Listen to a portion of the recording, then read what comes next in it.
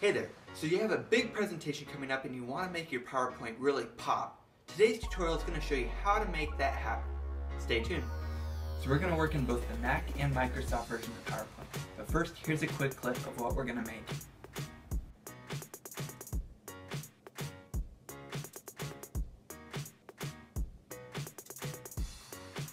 So when I say making a presentation pop, I literally mean the image coming out at you. It's almost like a pull quote. You want to draw in the audience's attention.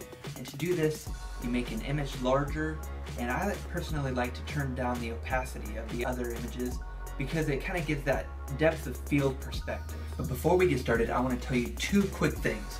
One, do not use an image with a white background unless your background is white and you can't tell the difference. It just does not look clean. Take the two extra seconds Instant Alpha or remove the background color. Two, if you're too lazy to do that, go to Google Chrome, Images, Tools, Color, and click Transparent. It'll give you a PNG image with no backdrop at all. So back to PowerPoint. I have all the images in here already, so what I'm gonna do first is I'm gonna turn the opacity down. So I'll go, I'll highlight them all, go to Style, and I'll turn the opacity down to 30%. Then I'm going to copy and paste this multiple times. I'll do it,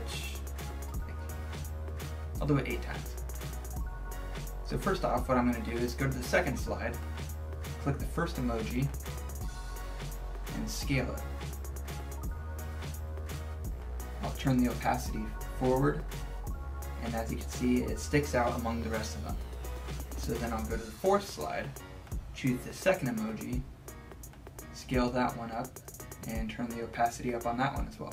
As you can see here, the other emojis overlap it. So what I'm going to do is right click and bring to front. I'll go to the next one, third emoji, turn the opacity up, and like the last one, bring to front.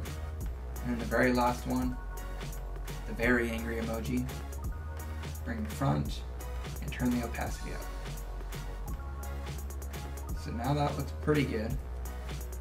But what we're gonna do next is go to the animation tab and highlight all these, holding down shift, and then add the transition magic move. So now when we play it,